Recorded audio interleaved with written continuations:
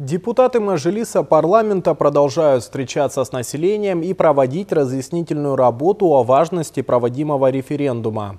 Народный избранник Дмитрий Колода встретился с работниками завода имени Кирова. В данном коллективе трудятся около 500 человек. Участники встречи расспросили депутата об изменениях в Конституцию и порядке проведения референдума. Очень много вопросов у работников возникало по поводу выбранности депутатов Мажилиса, Маслихатов и Акимов Акимов областей. Кроме этого, население интересует закон о присвоении земли.